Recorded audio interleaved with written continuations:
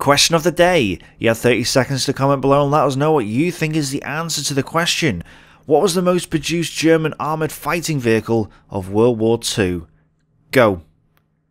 Okay, you have 30 seconds now to comment below and let us know what you think is the answer to the question. A pretty easy question for you. We've had a lot of difficult questions-ish recently. This one's pretty easy, and a lot of you should get this because, you know, you're all World War II experts, uh, apparently. Uh, so you've got about 15 seconds left now to make an educated guess, a very educated guess, I am assuming.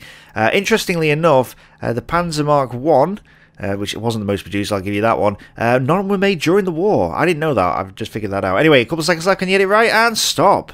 Submit your answers and let's find out what was the most produced German armoured fighting vehicle of World War II. It was the Panzer Mark III. Panzer Mark III, 15,747 units uh, made in total. 15,649 of them in the war itself. So there you go. You said the Panzer Mark III, you got it right. You said anything else, you got it wrong. Thanks for playing Question of the Day, guys. Hope you enjoyed this one. And uh, I'll see you again tomorrow. Bye for now.